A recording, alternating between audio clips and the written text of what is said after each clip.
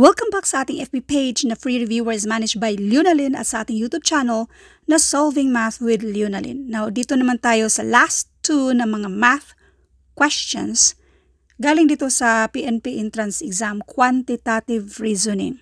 At ito ay sinisend lang sa isa sa ating mga followers. So, hindi natin i-reveal kung sino ito. At ito namang nasa first part na yan, yan yung mga number series na yung detalye niyan ilalagay ko sa description ng video ito sa ating YouTube channel. So, nandito na tayo sa last two. Let's read the problem. If Anna's monthly allowance is M and she spends N, dyan pa lang, kapag she spends N tapos ito yung total niyang allowance, ibig sabihin mag-minus tayo. So, bali M minus N. So next, what part of her monthly allowance does she saved? Kung ito yung monthly allowance niya, tapos ito yung inispend niya, ang mismong sagot dito, ito yung mismong na-save niya. Now, doon sa tanong na what part of her monthly allowance does she save, ibig sabihin itong save na save niya, yan yung numerator natin at yung denominator natin, yan yung mismong total monthly allowance.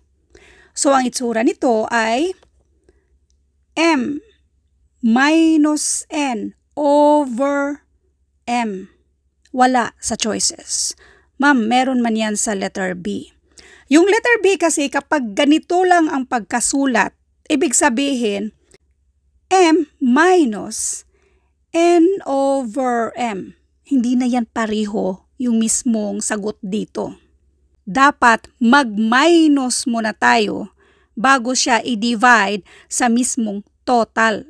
So anyway, baka merong typo error dito. So malamang dapat meron itong parenthesis. Naka-close parenthesis, it should be M minus N nasa loob ng parenthesis bago siya i-divide ng M. Otherwise, m minus n over m. Mag-example tayo. Halimbawa, merong yung monthly allowance niya ay 100. Tapos, yung in-spend niya ay 10.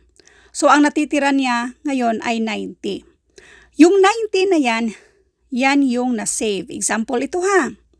So, kung na-save niya yung 90, kung ang tanong ay what part of her monthly allowance does she saved, ibig sabihin yan yung 90 divided by yung mismong total na 100. Now, 90 divided by 100, this is 0.9. Now, 0.9, kung i-percentage natin yan, that is 90%. Yan yung na-save niya.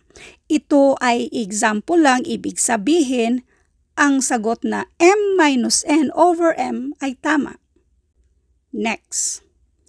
If A is the number of apples in a basket and P is the number of pears in the same basket, which of the following equations best represents the statement the number of pears is five times the number of apples?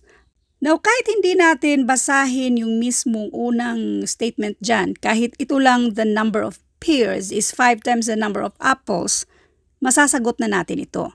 Pero lang, importanteng basahin din natin yung mismong given, yung first statement dito.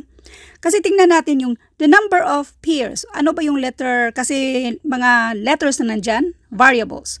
So yung pears dito, P is the number of pears. Okay. So, P ang gamitin natin dyan. Na yung isa A is the number of apples. So yung mga apples natin ay A ang gamitin natin dyan. The number of pears. Let P para sa number of pears. Itong is equal yan siya. 5 times the number of apples. Ibig sabihin yan, 5 times A. 5 times A ay pareho lang yan sa 5A. Nasaan ito? Sa choices. P equals 5A at yan ay nasa letter E. Thank you for watching and all I hope mayroon kayong natutunan sa videong ito. Thank you and God bless.